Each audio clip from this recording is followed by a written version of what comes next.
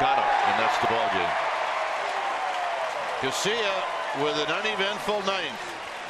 And Bruce Bochy's feeling very good about that. And the Giants behind two home runs in this game. The big one, a two run home run off the bat of Angel Pagan, and they take game one of this of this three game series and this six game homestand.